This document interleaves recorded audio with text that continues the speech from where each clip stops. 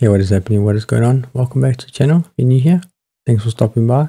Quick video today. I'm just going to show you how to use the cell fracture feature in Blender and how to enable it. So let's jump into Blender.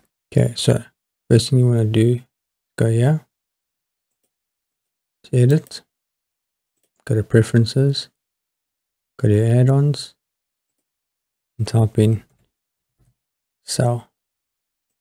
And then you just want to enable it Oh, so check it. Here. Save. Go out. Now let's bring in a model that you want to use it on.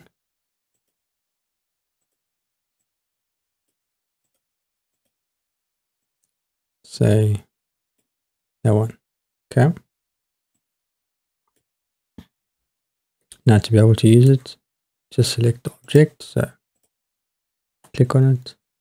Then go here to object down to quick effects.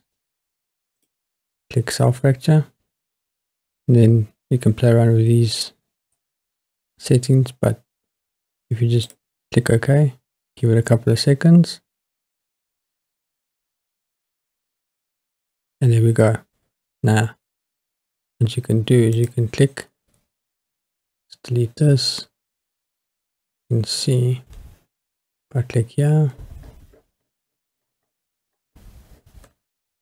click on this, hold shift, go to the top,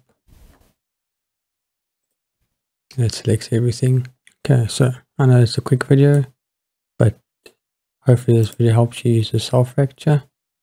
And uh, if you enjoyed the video, consider subscribing. Check out a couple of other ones, but I'll see you in the next one.